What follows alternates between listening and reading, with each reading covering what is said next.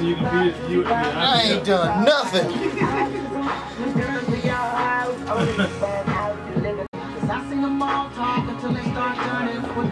Foul one way, can't, can't. Yeah, it's soft. Everything's It's soft now. Yeah, it's soft, yeah. Can't fly, can't do nothing.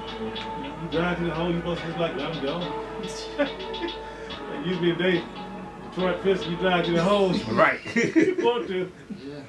You going on the flow. What you go on?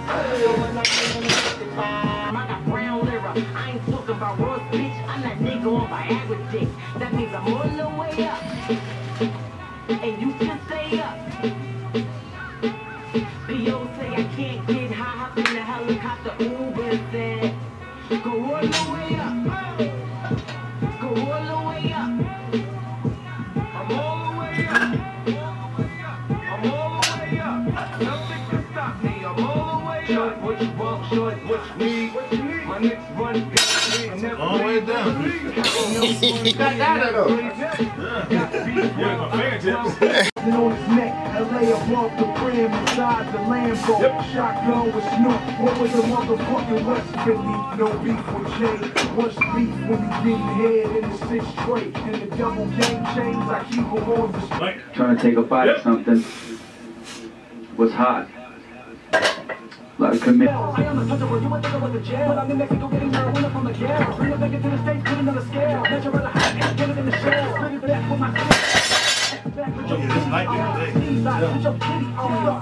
Light. Tell the good yeah. Get no fuck shit. We don't get no fuck shit. Go fill my crutch, yeah. But let's go. One thousand to a hundred thousand. Hundred thousand dollars have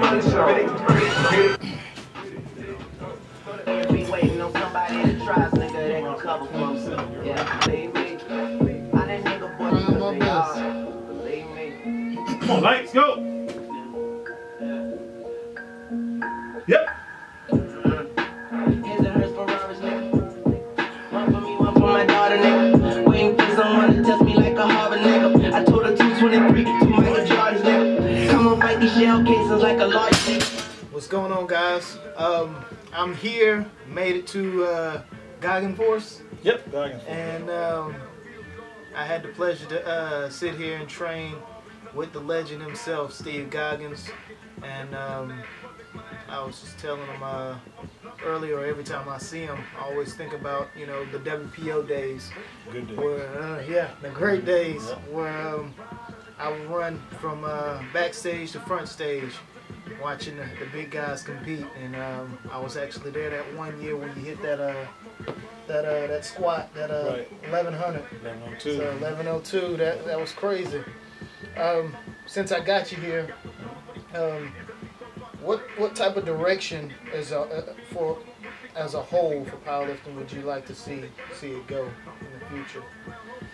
Um, me myself, I kind of like to see it go back to a little bit of, I mean, eventually get back to some type of um, traditional powerlifting gear. I mean, I like it like it is. I like raw, but I wish it get into some more, of- some more gear. And I'd like that because I want it to be, um,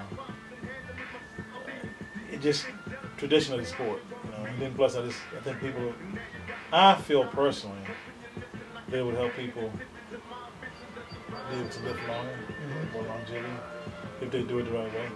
Uh, gear advanced too much and too far past what we need. We didn't need as much as what they got. Exactly. So we was, we was pretty much treating it like cars. So the Right. more gear, the faster. You know what I mean? Right, The more exactly. gear, the stronger. You know. Yep. But yeah, I I, I, agree with you. Uh, like I said earlier, the only thing is I don't miss the big shirts. No, I don't. You're right. You're right about that. And see, it used to be the bench shirts used to be where they didn't help you that much, where they just protected your shoulders a little bit, and to where it wasn't that big of a deal of learning curve.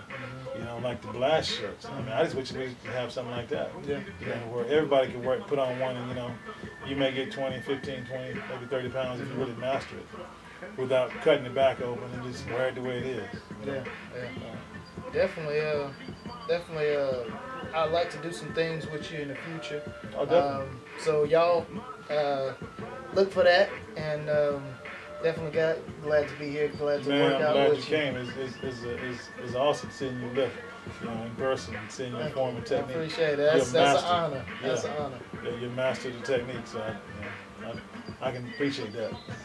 Appreciate it. Definitely. Good seeing you. You Till next time.